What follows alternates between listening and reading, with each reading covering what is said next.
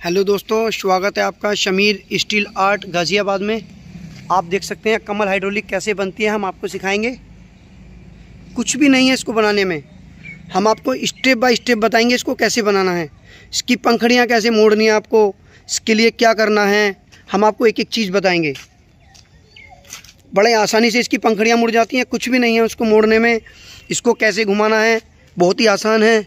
Gear बक्सा हम आपको बताएँगे कहाँ मिलेगा। मोटर हम आपको बताएँगे कहाँ मिलेगी। हम आपको फुल डिटेल के साथ एक एक चीज़ अपनी साइट पे हम आपको अपलोड करेंगे, आपको दिखाएँगे। आपको बड़े अच्छे तरीके से उसको देखना है और समझना है। कमल हाइड्रोलिक गोदाम, गाज़ियाबाद, आप चाहे तो हमारे यहाँ से ख़रीद भी सकते हैं। आप यहाँ, हमारे यहाँ के ट्रेन भी हो सकते हैं। फ्यूचर में आपके काम आएगा। लेकिन हमारे यहाँ जो वेल्डर का काम जाता हो, जो वेल्डिंग करता हो, सिर्फ़ वही आए। मतलब जिस पे नहीं आता हो ना वेल्डिंग वो ना आए। वेल्डिंग वाला, स्टील गेट वाला, जाली वाला, कोई भी इस काम को सीख सकता है, मात्र दस हज़ार रुपये में। जिस पे सिर्फ़ वेल्डिंग करना आता हो, हम उसको सिखा देंगे। जीना बनाना सिंपल है, आप बिल्कुल आसानी से बना सकते हैं। इसका आपको पहले डब्बा बनाना है, आप देख सकते हैं ये डब्बा है इसका मेन पहले आपको ये बनाना है, इसको अंदर बाहर कैसे बनाना है, मैं आपको पूरी वीडियो डिटेल में डालूँगा। ये चक्रा कैसे बनाना है, इसकी भी आपको डिटेल पूरी आराम से डालूँगा वीडियो।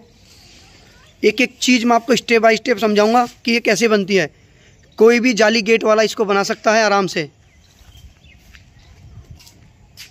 एक एक चीज़ मैं आपको सिखाऊँगा, कमल हाइड्रोलिक कैसे बनती है। प्लीज़ मेरे चैनल को लाइक और सब्सक्राइब करें, आपका बहुत ही एहसान होगा। ज़्यादा से ज़्यादा लोग इस वीडियो को देखें, उनको तजुर्बा हो कि कमल हाइड्रोलिक ओल जमाला थीम प्रेशर वाली कैसे बनती है। मैं आपको एक एक चीज़ डिटेल में बताऊँगा, ये कैसे बनती है, इसको कैसे बनाना है आपको। ये इसके पत्ते हैं छोटे छोटे बहुत ही आसानी के साथ बनते हैं। इतनी बड़ी नहीं है इसमें कुछ, आपको परेशानी होगी। ये बिना उठने वाली एकदम सिंपल। हम आपको प्रेशर वाली भी बनानी सिखाएँगे कि प्रेशर वाली जयमाला स्टिच कैसे बनती है। ये देखिए दोस्तों, प्रेशर वाली। कमल हाइड्रोलिक गोदाम गाज़ियाबाद।